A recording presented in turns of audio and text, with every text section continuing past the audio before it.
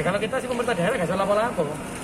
Mau ing Bandung terkait jaringan. Tapi kalau tem- Alhamdulillah dari tes CPNS sudah tapi sudah dilakukan mulai pagi tapi meskipun ada kendala tetap bisa jalan.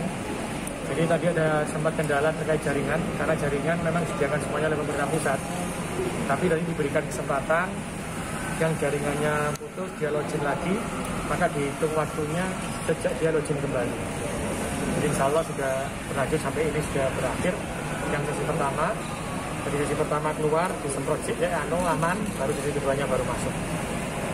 Itu yang hari ini CPNS. ya. antisipasi untuk kita ada kendala Kita dari pemerintah kota itu hanya menyiapkan tempat.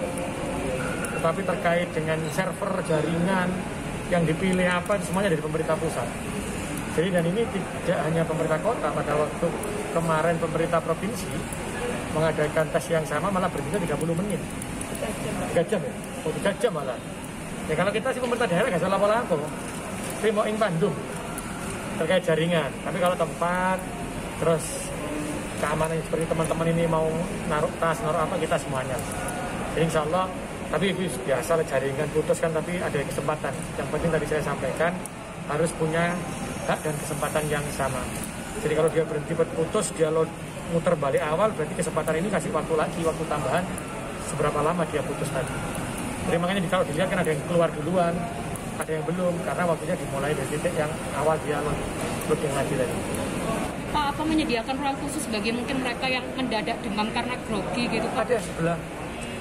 Jadi sebelah itu ada.